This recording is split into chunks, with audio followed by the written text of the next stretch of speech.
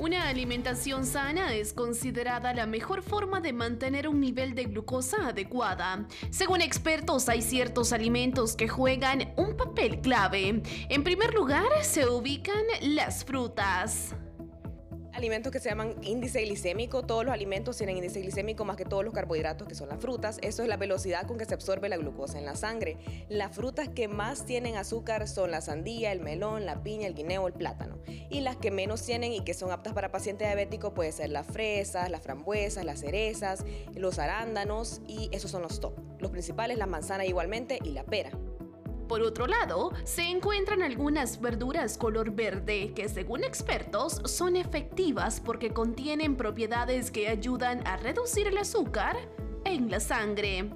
Ya sabemos que el sedentarismo está a la orden del día, nuestra población pues no tiene la costumbre de, mantenerse en ejercicio, entonces eso es muy importante, al menos dos, tres veces a la semana, hacer un poquito de ejercicio, eso es muy importante.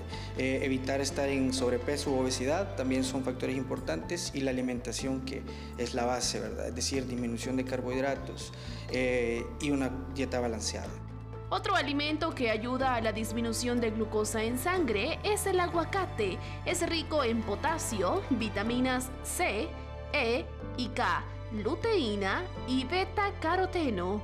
Además, el ajo es considerado un antibiótico natural y aumenta la cantidad de insulina de nuestro organismo. Pero, ¿cuál es la cantidad recomendada?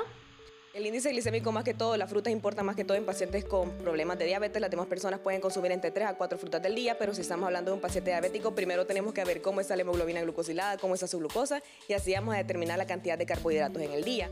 Los expertos aseguran que el consumo de estos alimentos se deben acompañar de otras prácticas saludables, como la ingesta correcta de agua que puede ir de 2 a 3 litros diarios.